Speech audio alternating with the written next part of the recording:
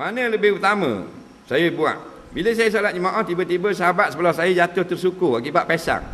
Adakah saya kena berhenti solat dulu batu belia atau teruskan solat macam biasa?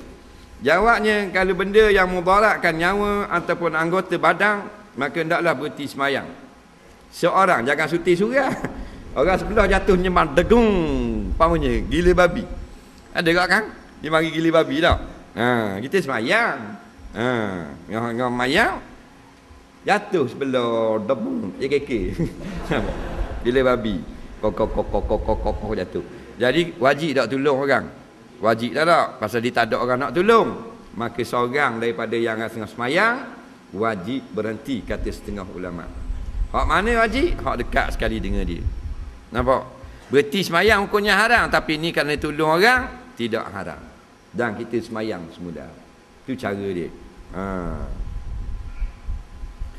Kabar sama dah kan kalau anak nak jatuh boleh berhenti. Anak duduk dalam buah, pada tu bik separuh. Boleh pak gitu aja kan budak-budak kan. Mak jenis tunja, tunja, tunja tu bik kepala tu. Itu bik kepala ha beres lah. Itu bik kepala. Itu tunja dengan punggung pula. Dah kalau pak gini, bukan umur 8 tahun. Budak baru 3 bulan, 4 bulan. Nak, boleh patah riak.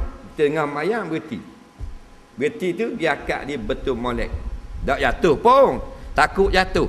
Berhenti semayang tak dosa. Ha, kerana menyelamatkan daripada anak-anak terkena mudarat. Nak? Ha, pasal dia budak-budak.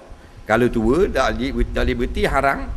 Tengok dengan mayang tengok bini kita tidur tu bik buah belipak itu.